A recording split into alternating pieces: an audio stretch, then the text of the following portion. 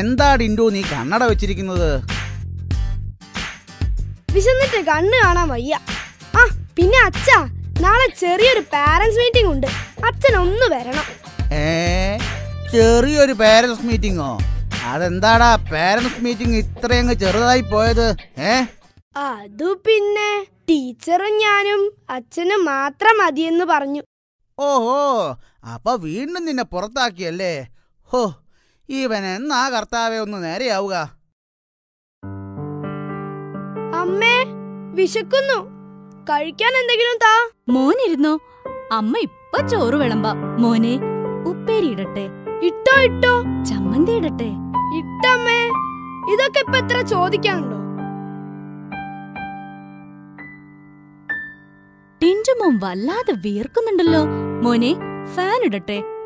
ഇട്ടോ ഇട്ടോ ഈ പ്ലേറ്റിന്റെ തുഞ്ചത്തിട്ടോ ആ മതി മതി. കളിച്ചിരിക്കാതെ ട്യൂഷന് പോകാൻ നോക്ക്.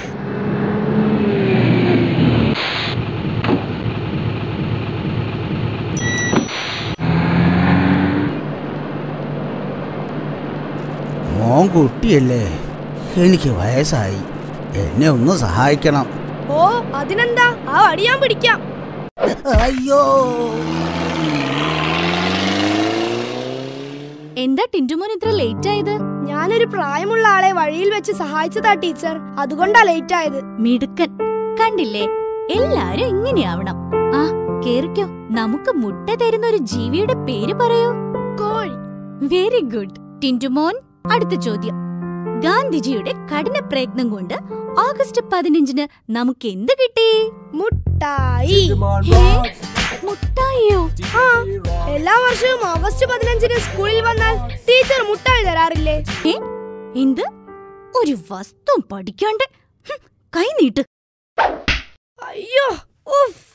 മുട്ടയിടാത്തതും പ്രസവിക്കാത്തതുമായ ഒരു ജീവിയുടെ പേര് പറയൂ. ആ, മുട്ട. ആ അത് പിന്നെ ഞാൻ എന്റെ അമ്മയുടെ അനിയത്തി.